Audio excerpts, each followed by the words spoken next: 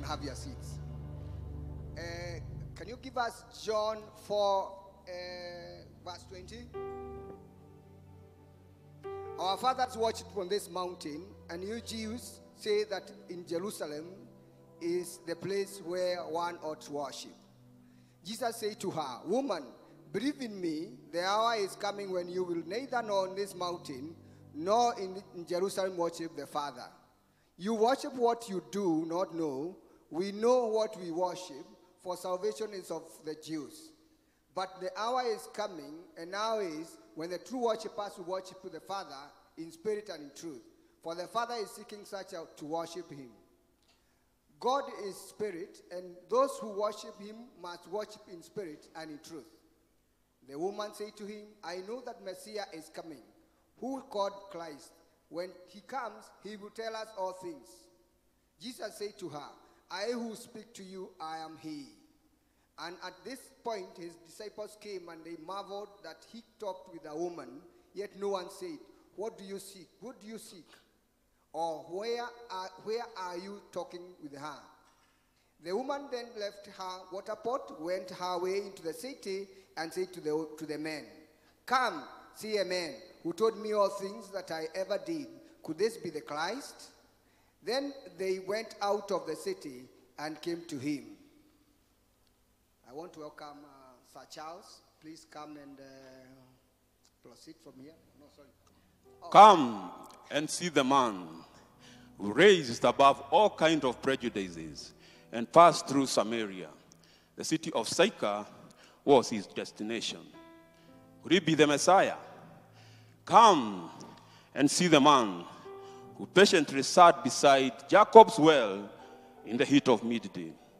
He who gives rest needed rest, but he had to wait for the Samaritan woman, an outcast among the outcasts, as she came to draw water at an odd time of the day. Come and see the man who had a chat with the Samaritan woman. A woman who could find herself in perfect company with Rahab and Delilah. A woman who could charmingly chat with men. A woman with a tongue to twist, sacred dialogue to sarcasm. Will he be the Messiah? Come and see the man who showed the Samaritan woman unconditional love. He requested from her a drink of water, even though he is the source of living water. Will he be the Messiah? Come and see the man who gave the Samaritan woman an offer she couldn't refuse. He gave her the living water, which quenched her spiritual thirst, transforming her from a prostitute to an evangelist. Could he be the Messiah? Come and see the man who loved his disciples like his own children, who treated his disciples like family and gave them eternal inheritance. Could he be the Messiah? Storms, seas obeyed him, blind obeyed him, and their eyes were opened. Deaf obeyed him, and their ears were unstopped. Dumb obeyed him, their tongues were loosed. Lepers obeyed him and were cleansed. Dead obeyed him, and they came back to life. Yes, he is the Messiah. Emmanuel, the Riverer, the Word of God, the Son of God, the Holy One of God, the Lamb of God, the Light of the world, the Rabbi of rabbis, the way, the truth, and the life. Indeed, he is the Savior of the Jews, the Samaritans, and the entire world. He is the mediator between God and man. The man, Christ Jesus.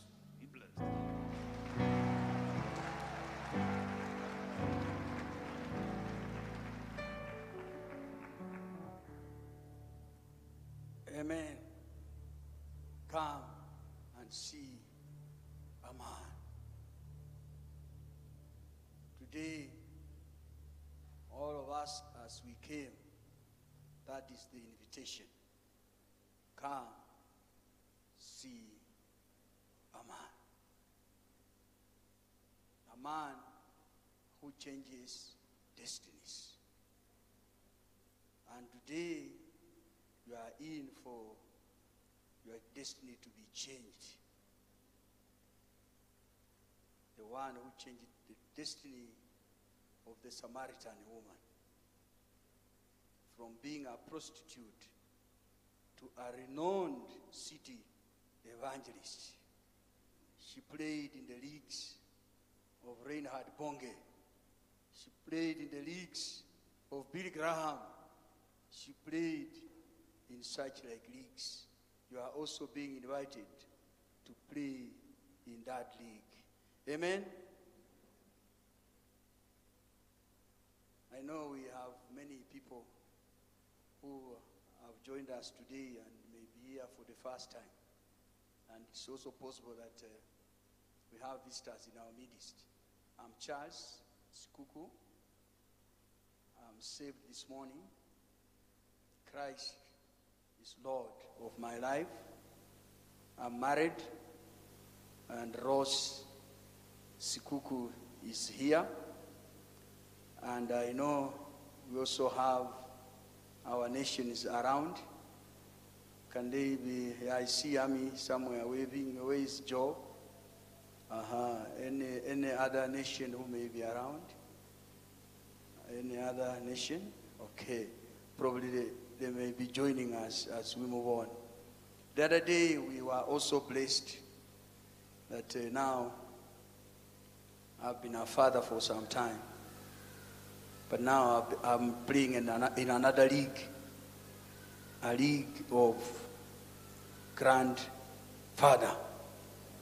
We thank God. So that is the doing of the man that I'm inviting you to, that he does what he does the best. Thank you, Bishop, for this opportunity to share the Word of God today. Thank you, Pastor Alice. Thank you, the leadership of the whole of, of, of DCIKZ. And indeed, those of you who have come. For us, this is a, a great day, a day that the Lord has made, and we purpose to rejoice in it. I remember when I was praying almost after, just after midnight, I was, I, uh, uh, the Spirit reminded me that this is celebration service. So I want us to say that this is the day that the Lord has made. We shall celebrate. Say, we shall celebrate. You came to celebrate. Yes, you came to celebrate, and you will see very shortly why. My, the topic of my message is But the hour is coming, and the hour is now. So I've already given you one of it. The hour is coming to celebrate, and the hour to celebrate is now. If we look at Revelation 10, 5, 6, why I want us to be in the moods of celebration. NIV fashion, please. Celebration, uh, uh, NIV, uh, Revelation 10, 5. Then the angel whom I saw standing on the sea and on the land raised up his hand to heaven. And he swore by him who lives by forever and ever, who created the heavens and all that is in them, the earth and all that is in it, and the sea and all that is in it, and said, let's pause there, and said, we have, our topic is, but the hour is coming, and the hour is now. What it means, what you've been waiting for, what you've been looking forward to and you've waited for quite some time, I came to say the last part of it that there will be no more delay. There will be no more delay. Appointments, no more delay. Marriage partners, no more delay. Promotions, no more delay. Ministries, no more delay. Children, no more delay. Flying out, no more delay. And that is the message for today that there will be no more delay. So, those who've been thinking of flying out, I remember the first time when I was to fly out, Rose will tell you how many times I did rehearsal. How I bought a box and I, I used to walk around. I tell her now, I'm walking the street far away from you, look at me. And Rose would say, But you should not walk like that. You change the style. Then I could change the style. Yani, because there was the delay had now come to an end. So you should sit like one who is ready to, to take off. To take off, to be employed, to be promoted, to become a father, to become a mother, to become a grandfather, to become a grandmother, to become no more delay. When one looks at the story of the Samaritan woman in John 4 1 to 42, you will realize as you read that there are seven, the, the term father is referred to seven times. Seven times. Five times with capital F, meaning God. And two times with small f, meaning here and between us. That tells me that fatherhood is both vertical and horizontal relationship. And the waiting is towards God. How you are related with God determines how you relate with people, how you relate with others, how I will relate with Rose as her husband, and how Rose will relate with me as her wife. So when Jesus Christ passed through Sychar, the city in Samaria, it, it convinces me to know that he went to address the totality of fatherhood. How people related with their God and how people related with, with each other. How about in our nation now? Increasing cases of teenage pregnancies, increasing cases of women headed households, with the exception of that, those who headed by widows, increasing cases of rape and defilement. On Saturday, it was reported a father in Elgeyo Marakwet defiled his daughter of four years. Riots in our learning institutions, particularly those of our, the boy child, domestic and gender based violence, election violence, mushrooming of small parties and small churches. You can mention as many as you can.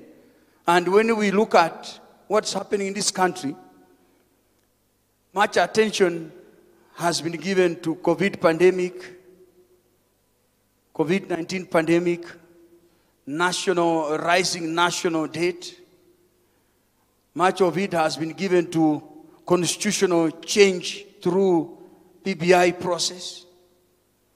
But today we are saying time has come, time is now to address fatherhood in, in society through the question where are the fathers?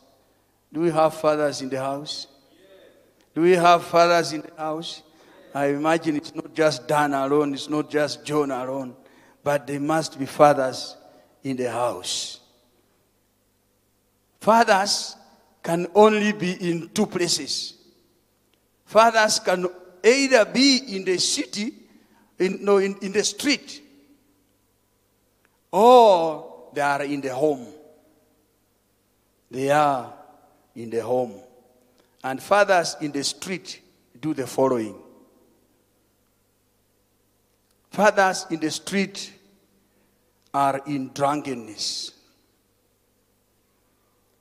Fathers in the street are in bitterness, or we call them fathers in bitterness, missing or absent fathers, indecisive and passive fathers, adulterous fathers, selfish fathers, preoccupied or distracted fathers. I want to read some one paragraph from the book titled Where Are the Fathers, page 21. Last paragraph it says, One of the greatest needs wives and children have, and all the more in our relentless, distracting age, is the father's countercultural attention. Perhaps more human attention has never been more valuable. Today, the largest corporations in the world no longer compete for oil, but for human attention. And when attention is short and scarce, one of the greatest emerging strategy, tragedies of this new era is distracted fathers. Distracted by what? Technology and many other things. When we look at Gen- uh, Leviticus 18 24, 25, it says, and we read slowly, that do not defile yourselves with any of these things. What are those things? We are talking of drunkenness, absenteeism, bitterness, indecisiveness, adultery, selfishness, and destructions. And why should we not defile ourselves? For by all this the nations are defiled, which I'm casting out before you, for the land is defiled. And what which land is defiled? The family land, the national land, and the church land. And what happens when the land is defiled? God visits the punishment of its iniquity upon it, and the land vomits its inhabitants. So you can imagine family land vomiting you, uh, nation land vomiting you, church land vomiting. You know, wonder people will be in this church today, they are vomited, they go in the next one, they are vomited. They keep getting vomited, and, without knowing why they are being uh, vomited. So when Jesus Christ took position by the well of Jacob, he, he, his interest was to address the totality of fatherhood in Samaria. And it's that same Jesus Christ who will address fatherhood in our society, indeed in the whole world. Bwana asifiwe. It's that same Jesus Christ. And he did it through three kinds of people. He did it through the Samaritan woman, whom I gave a new title, the water pot carrier. She carries the pot on her head, I believe. He also did it through his disciples who came to Jesus Christ with food, so the food carriers. Then he did it through the men of the city or the Samaritans, minus now the Samaritan woman, and these ones are miscellaneous carriers. Miscellaneous carriers carry everything else that has not been carried. Personally, I realized I belong to the water pot carrier. I belong to the uh, food carrier. I be, I'm a food carrier, I'm a miscellaneous carrier, because I knew what benefits they were. So I wanted to be a partaker of those very benefits. Because this, this you know, the Samaritan woman, when she was going to, to, to, to draw water, she never, she, at any one time, imagined she would meet Jesus. But somehow she made Jesus. The water pot carrier made Jesus. If she had not made Jesus, she would have gone back to do all the things that she was, she, she was used to doing. And what was she used to doing? Drawing people's husbands to herself. And that is sexual immorality. So it's possible that one could easily have come in and goes back doing the same things that they are good at, including adultery, fornication, masturbation, incest, homosexuality, and sexual immorality defiles the land, and the defiled land vomits its inhabitants. But if we focus a little on the Samaritan woman, the Samaritan woman, when she met with Christ, and I alluded to it earlier, she was converted from a prostitute to an evangelist. That's, that is destiny. Destiny has changed. Destiny has, has changed. And then, instead of now drawing people to herself, she started drawing people to God. Evangelists draw people from the world to, to God. Those in sexual immorality draw people to themselves. And you can even see that could become uh, idolatry of, of some nature. And that's why Matthew 9, 37, 8 talks of there are fewer laborers. There are fewer laborers to go into the street so that we bring the fathers there, the, the drunk fathers, the adulterous fathers, the selfish fathers, the distracted fathers, assuming they are not here. But if they are here, the work is the same. Amen? I kept on wondering why Pastor Alice, if it was fathers Christ was looking for, why didn't he look for a father? And then the, uh, on the Mother's Day, Professor Kuria gave me an answer. When we were just here, she said, There can never be a Mother's Day minus fathers. So she congratulated me on the Mother's Day. Seemingly, there can also never be a Father's Day minus mothers. And probably that's why the Samaritan woman was the one entrusted with that responsibility because she was simply one of them. She was one of them. The disciples came with food to abort more or less the will of God because they wanted to engage Jesus Christ in eating. Of course, those who, who fellowship here know that I'm one guy who believes in eating. Um, uh, I don't go to meetings where there's no food. Uh, that, that one is known here. But those who may not, uh, that tells you in here we have a lot of food. So you are also welcome to, to eat, to partake of the food. But food business will have, will put them candle to cool it the right time.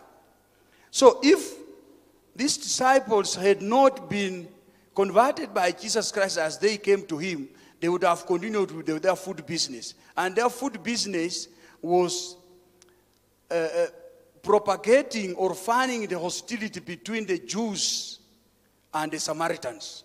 They were the agents of tribalism. Twelve disciples of Jesus Christ, the closest to Jesus Christ, were the ones propagating tribalism. Bishop, I could be the one who may be propagating the highest level of tribalism because I'm close to you.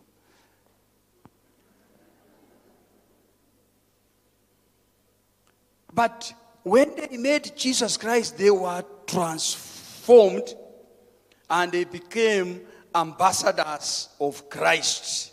They became peacemakers, as we know from the Beatitudes, Matthew 5 9, which says, Blessed are the peacemakers, for they shall be called sons of God. Amen. They became peacemakers. How this nation yearns for peacemakers. Particularly when we go, as we are preparing for 2022 elections. How households here yearn for peacemakers. How churches yearn for peacemakers. This lady was able to move out and she called in the fathers, she called in the other Samaritans. When the Samaritans came in, surprisingly, their interest was one. They came to see. The misleading miscellaneous people come to see. The miscellaneous come, people come to spectate. The misleading miscellaneous people come to warm chairs, to warm pews, to warm benches. But when the miscellaneous people meet Jesus Christ, he converts them into a one people. The other day, Bishop, I was surprised. I, I, was, I, was, I was being reminded of some song that was sung by Bob Marley. So I kept on wondering, was Bob Marley a, a, a church person? Because he was saying, different colors, one people. And yet, that is what Jesus Christ went to do in Samaria to make all Samaritans one people. One people.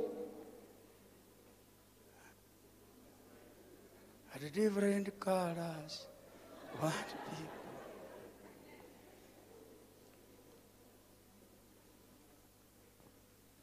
If you go to Nablus city in, in Palestine, Nablus city in pa Palestine, which now evolved out of Sychar city, you'll find a Greek Orthodox church. So, from what Christ began, that time is still there. I'm told it's a religious and a historic site.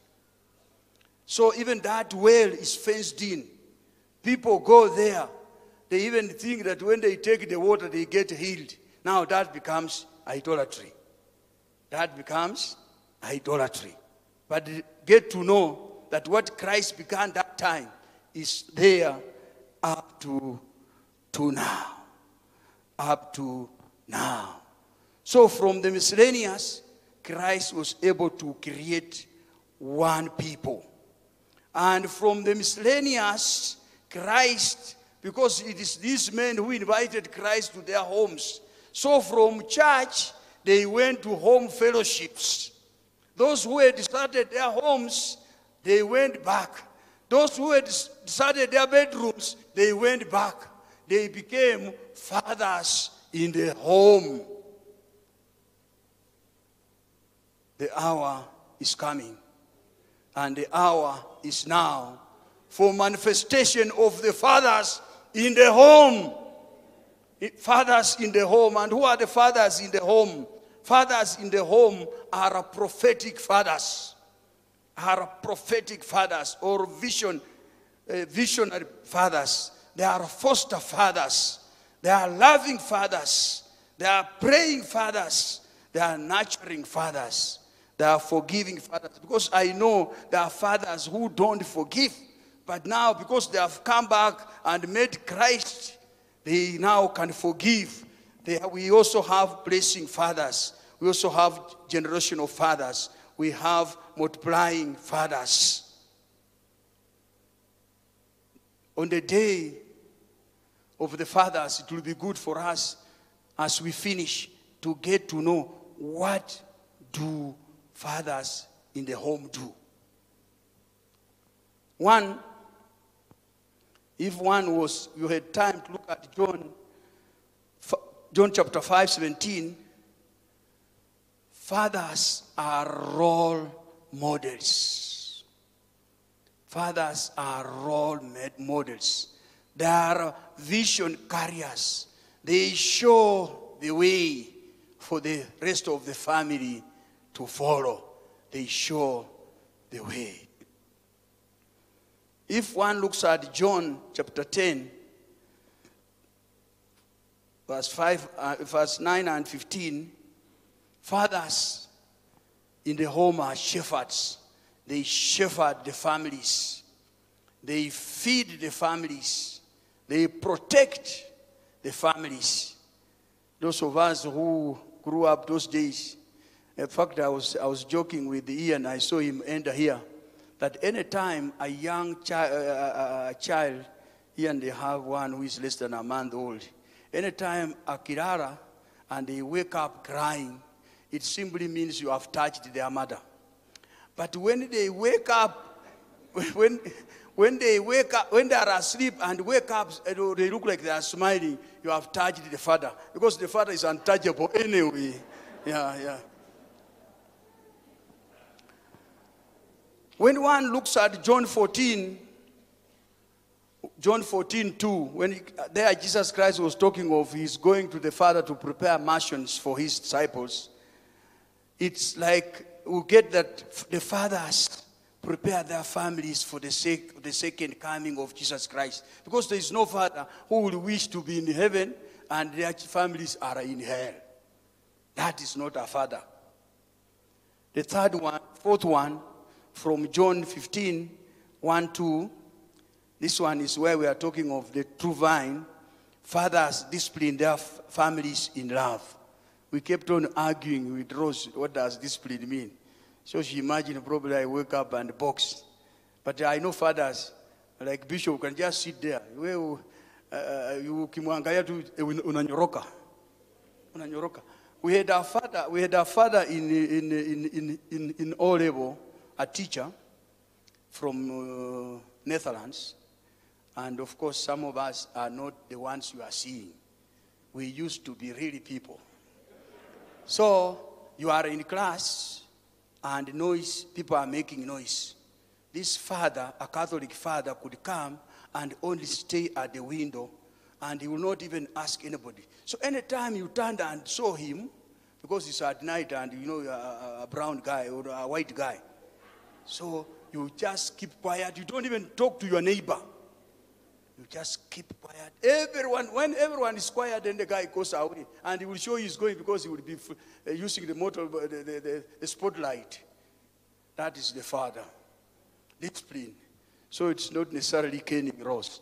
When you look at Luke 23, 34, when Jesus Christ on the cross said, Forgive them, they do not know what they do.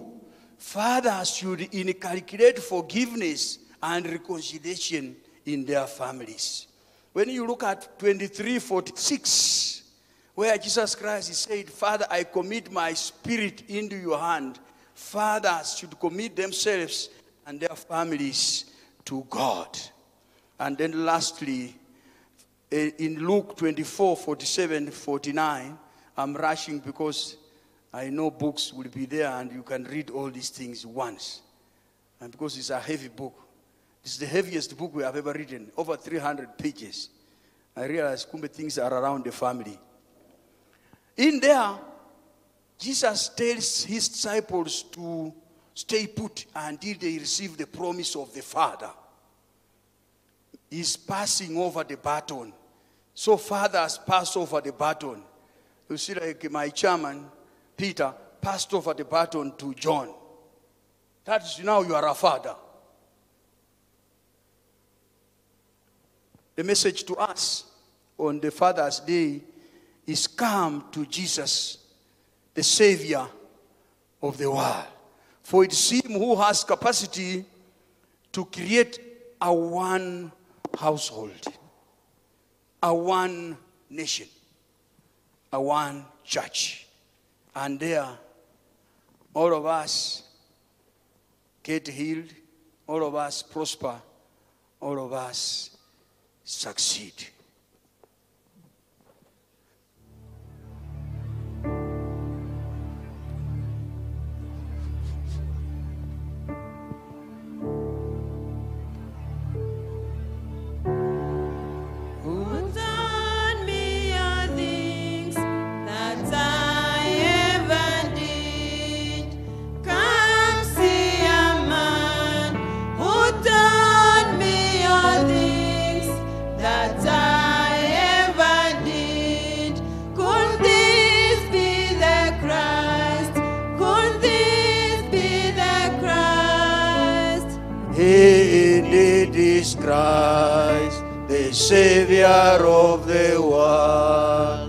He indeed is Christ, the Savior of the world.